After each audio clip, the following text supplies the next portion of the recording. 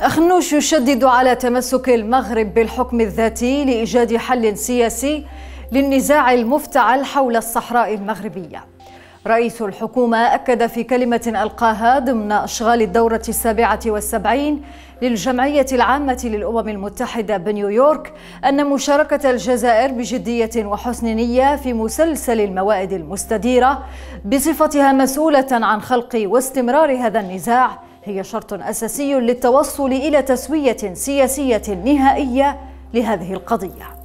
إسبانيا ترفع اللوم عن الشرطة المغربية في أحداث مليليا وزير الداخلية الإسباني أبرز أن الوفيات والإصابات التي سجلت في صفوف المهاجرين غير النظاميين خلال عملية الاقتحام جاءت كرد فعل على عنف أشد مارسته مجموعة من حوالي 1700 مهاجر ولاجئ.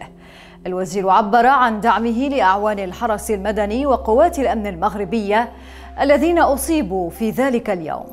الجزائر تنسحب من اجتماع عربي بسبب الصحراء المغربية. اتحاد المحامين الجزائريين غادر اجتماعا كان منعقدا في لبنان بسبب تصريح ممثل جمهورية مصر العربية النقيب المصري المنتخب حديثا رئيسا لاتحاد المحامين العرب الذي أكد ضمن كلمته مغربية الصحراء. زياش يعبر عن سعادته بالعودة إلى صفوف المنتخب المغربي وجاهزيته لخوض المونديال مع الأسود. الدولي المغربي أكد أن المباراتين الوديتين أمام تشيلي والباراغواي في غاية الأهمية بالنسبة للفريق قبل دخول منافسات نهائيات كأس العالم من أجل الوقوف على مستوى اللاعبين مع وجود المدرب الجديد. نهاية المختصر للمزيد من الأخبار تابعوا صفحاتنا على مواقع التواصل الاجتماعي. إلى اللقاء.